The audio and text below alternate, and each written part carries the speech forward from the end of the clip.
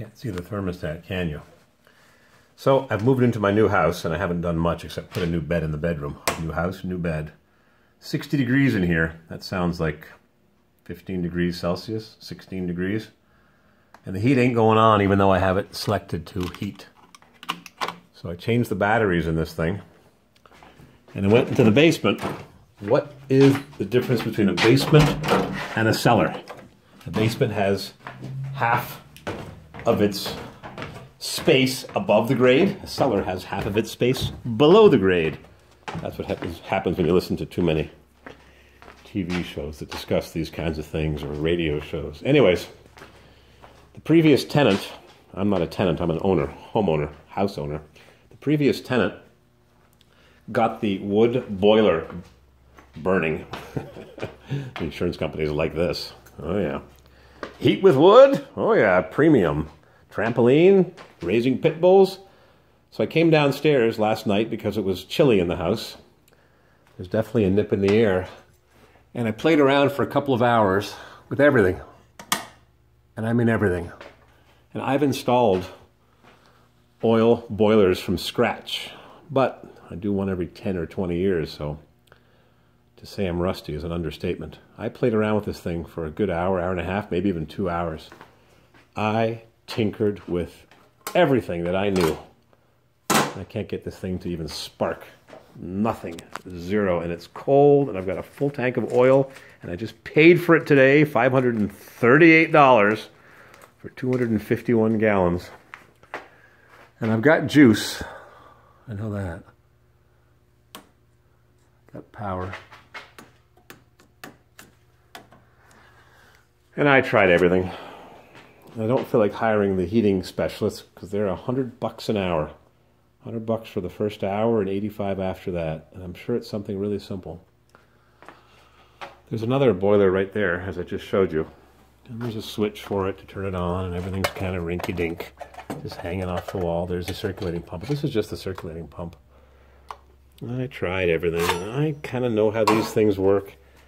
Let's see, the thermostat is here, so I take a screwdriver, I took one and I touched them together.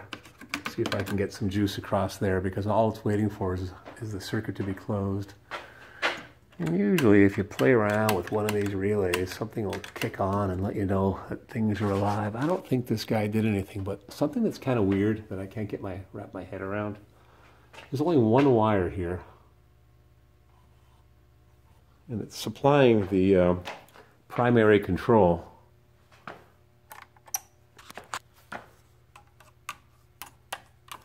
Why do I keep thinking there should be a second wire connector?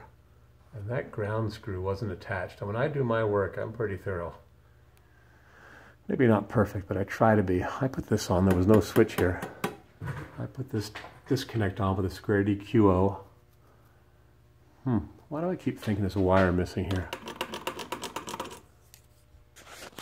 I know this isn't right. This should have been in a junction box.